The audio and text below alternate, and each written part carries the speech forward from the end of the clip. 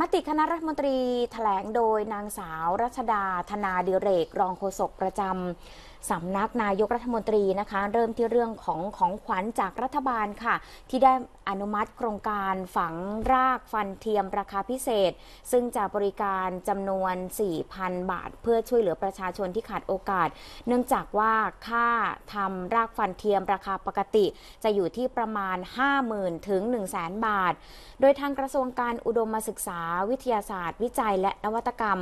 จะจัดให้ฟรีกับคนที่เข้าไม่ถึงบริการตามราคาปกติ สามารถลงทะเบียนได้ที่เว็บไซต์ www.tcels.or.th ของศูนย์ความเป็นเลิศด้านชีววิทยาศาสตร์ องค์การมหาชน โดยจะให้บริการใน 36 โรงพยาบาลทั่วประเทศนะคะ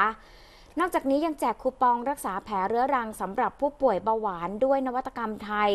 จำนวน 10,000 คูปอง โดยให้บริการฟรีผ่าน 14 โรงพยาบาลทั่วประเทศ ทั้ง 2 โครงการนี้ก็จะให้บริการเริ่มตั้งแต่วันที่ 6 มกราคมถึงเดือนกุมภาพันธ์ค่ะ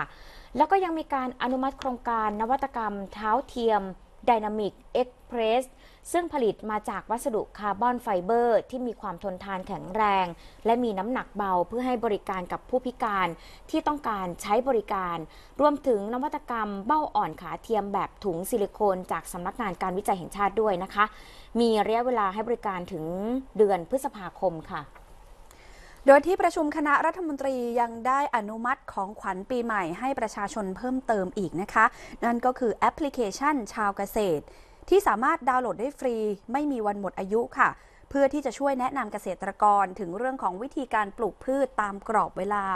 และวิธีการปฏิบัติงานในแปลงอย่างถูกต้องและเหมาะสม อย่างเช่น เรื่องของการบริหารจัดการน้ำการใช้ปุ๋ย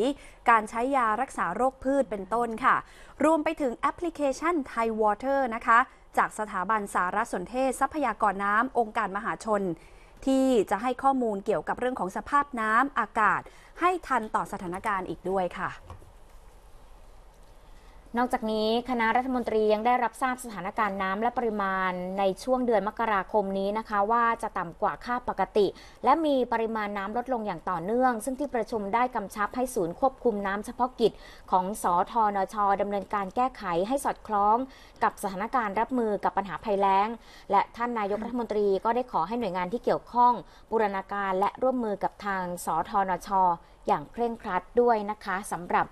โครงการที่อนุมัติออกมาเมื่อวานนี้ก็มีหลายโครงการนะคะ โดยเฉพาะผู้มีรายได้น้อยนะคะ ที่จะมีโอกาสทำรากฟันเทียมฟรี 4,000 รากนะคะ ขออภัยคุณผู้ฟผู้ชมนะคะ คือจะทำให้จำนวน 4,000 ราก เพื่อช่วยเหลือประชาชนที่ขาดแคลนโอกาสนะคะ เนื่องจากว่าค่าทำรากฟันเทียมราคาสูงมากใช่ค่ะอยู่ที่ 50,000 ถึง 1 0 0 0 0 0 บาทนะคะ เพราะฉะนั้น 4,000 รากก็จะได้ทำฟรีค่ะค่ะ